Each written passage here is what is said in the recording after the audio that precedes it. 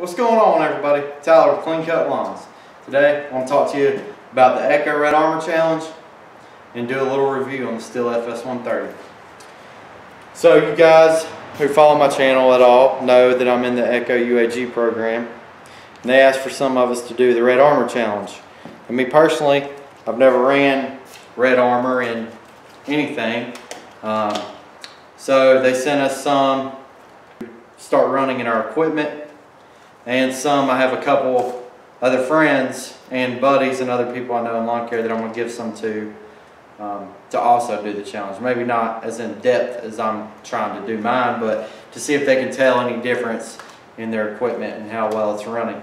Um, so I'm going to do this challenge with the Stihl FS130 um, and I'm going to try to put some pictures up right here.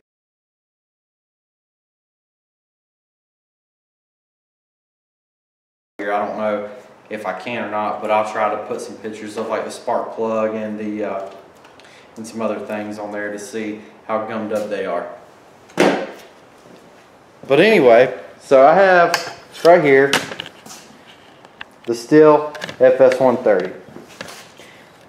And this particular trimmer is about three years old.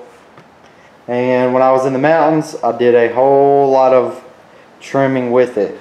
On the side of mountains, banks, I mean, I use that. I put more hours on a trimmer, it seemed like, than I did a, a mower. Um, I believe, if I remember correctly, it is right at $399.99 price tag. Has a little over 30 cc's. And the only maintenance thing that I've ever done to this trimmer is change the air filter.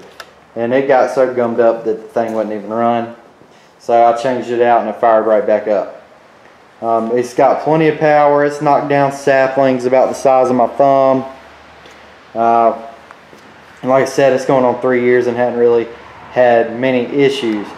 Now with it being three years old and you can tell just by looking at it how tired it's getting or how worn out it's getting. Um, it is getting hard to crank.